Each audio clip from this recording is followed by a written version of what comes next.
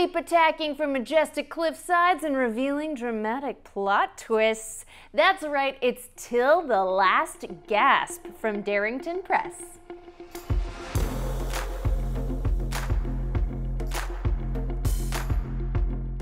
In this high-stakes storytelling game of character confrontation, two players take on the role of duelists, each vying to overcome the other in a fight for character and relationship development.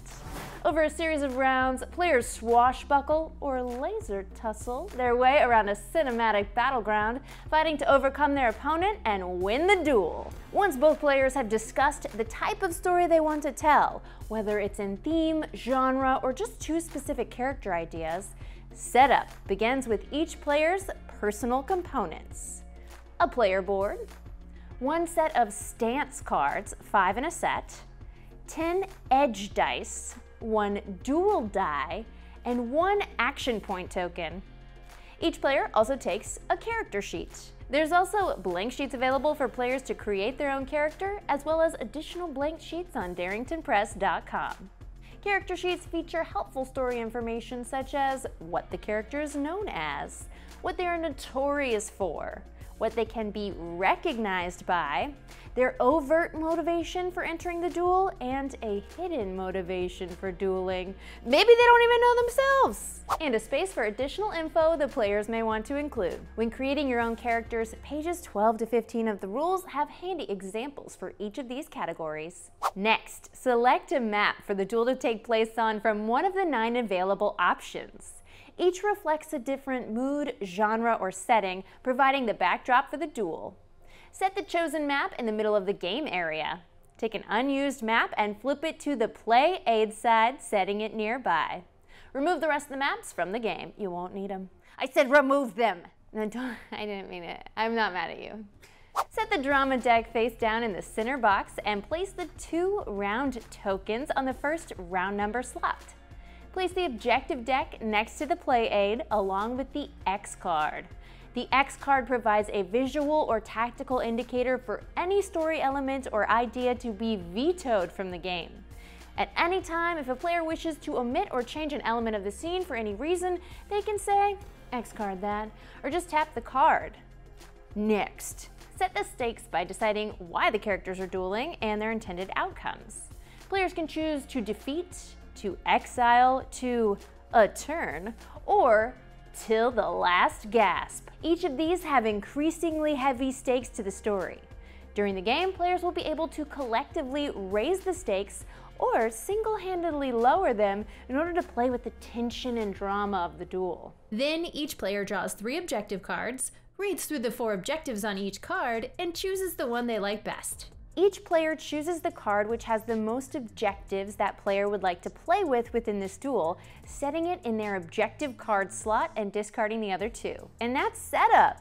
Before the game begins, two quick prologue moments set the stage for the duel. First, players confront your foe by each describing how their character appears on the scene. Are they crashing through a window followed by a somersault? Or are they revealing their face at an elegant masquerade festival to the gasps of the other guests, of course? Anything to start that drama on a high note.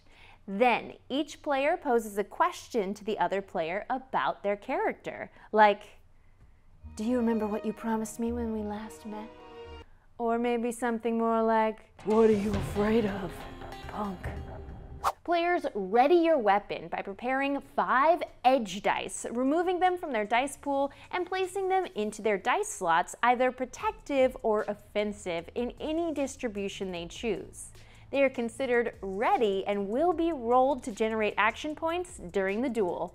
Gameplay occurs over rounds, each divided into four phases. Select a stance, roll the dice, take your turns, and end the round. First up, in the select a stance phase, each duelist secretly chooses one of their stance cards to play for the round. Though they have five cards, only three of them can be selected for this phase. Bold, an offensive stance, Quick, a ready stance, and Wary, a protective stance. The other two are rattled stances, and characters never start a round in a rattled stance.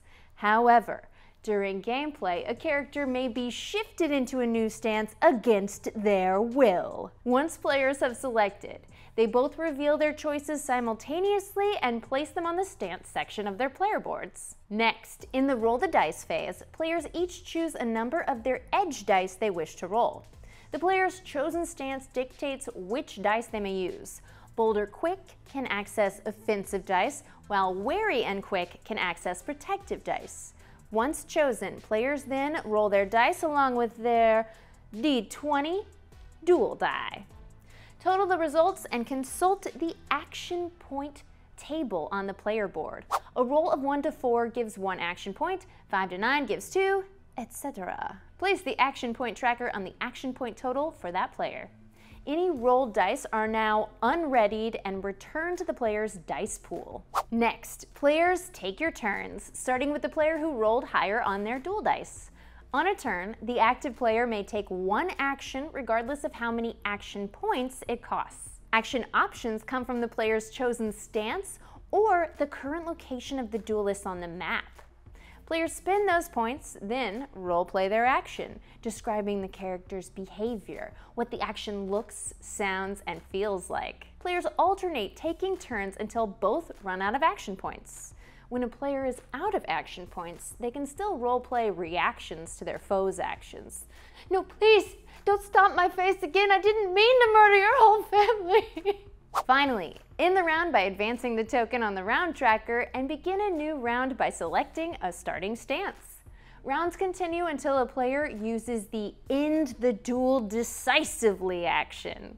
This costs four action points, requires at least four rounds to be completed, and the players must have completed three of their objectives.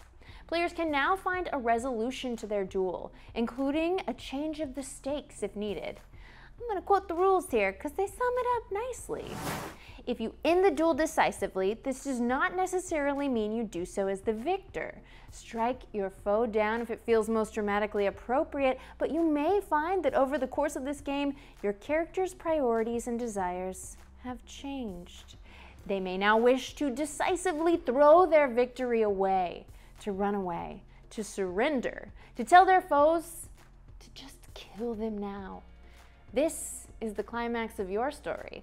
Forgiveness can be just as dramatic as death.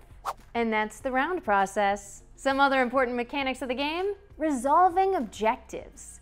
Players use objective tokens to mark off objectives as they are completed. For those with multiple steps, a blue token is used for the initial steps and orange for the final. Players need to complete three of the four objectives in order to end the duel decisively. Drama deck. Some actions require a draw from the drama deck.